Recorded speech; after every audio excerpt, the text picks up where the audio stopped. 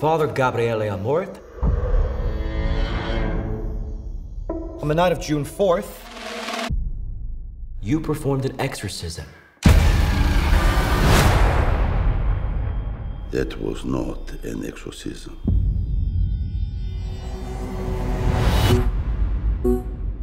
The majority of cases do not require an exorcism.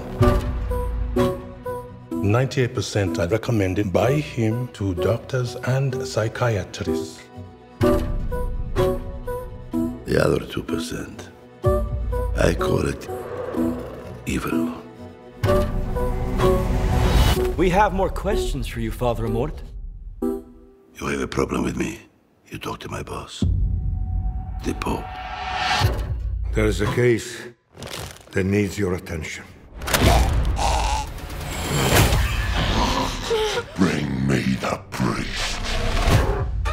To help, Julia. Wrong priest!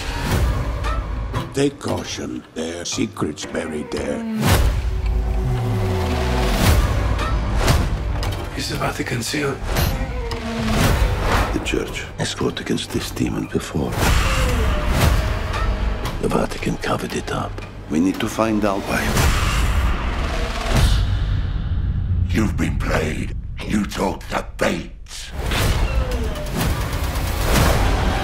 Whatever you do, you only do because God allows it.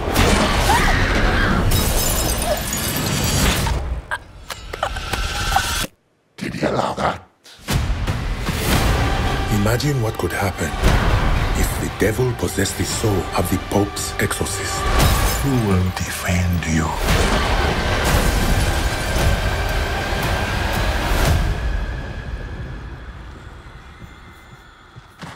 My faith does not require defense.